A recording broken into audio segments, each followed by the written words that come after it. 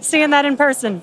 Um, you know, uh, Dan had to take that entire segment because I couldn't talk. That was There- incredible. there it is. We can see the booster coming back in now through the plume, at least pressure, it chamber looks pressure's silver flare uh, coming back to the, the. Once again, we are standing by for uh, uh, uh, attempting to catch the booster at the tower. This would be the second tower catch. Booster landing, Landing burn seeing 13 engines. Booster now hovering as it aligns with the tower for catch.